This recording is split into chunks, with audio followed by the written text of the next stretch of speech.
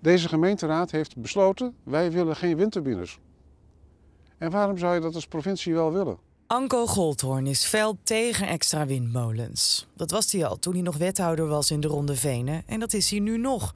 Er zijn te veel nadelen, al dus Anko. Dat zijn de gezondheidsrisico's als gevolg van laagfrequent geluid. En eh, waarom niet op zee? Want er is aangetoond, met, ook met een rapport eh, van CE Delft, dat het op zee makkelijk kan.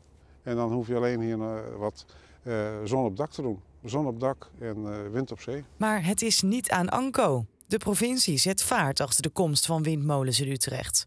Vandaag is een lijst gepresenteerd met daarop 27 locaties die het meest geschikt zouden zijn voor het opwekken van windenergie. Eén daarvan ligt hier in de Ronde Venen in Baanbrugge. Nummer 38 aan beide kanten van het spoor.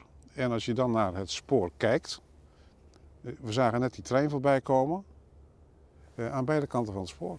Het is niet gezegd dat hier ook daadwerkelijk windmolens komen. De bal ligt nog steeds bij gemeenten zelf, zegt de provincie.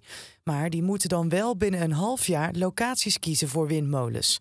Anders doet de provincie dat. De tijd tikt door, 2030 komt steeds dichterbij.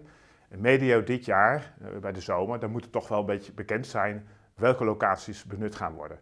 En mocht dat dan op dat moment toch nog onvoldoende zijn, wat ik niet hoop, op dit moment ook nog niet verwacht, maar mocht dat toch zo zijn, dan zullen we als provincie uh, ja, toch kijken of er één of nog meer windlocaties uh, door onszelf verder gebracht gaan worden. In de provincie Utrecht moeten in totaal zo'n 50 windmolens komen.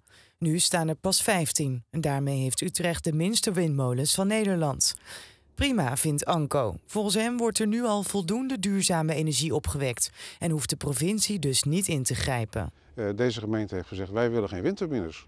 Wij zien mogelijkheden om op andere wijze die hernieuwbare energie te gaan uh, produceren. Nou, dan moet je dat niet overroelen, dan moet je dat gewoon accepteren. Maar weerstand of niet, volgens de provincie is het nu tijd voor actie. Anders wordt er voor je besloten.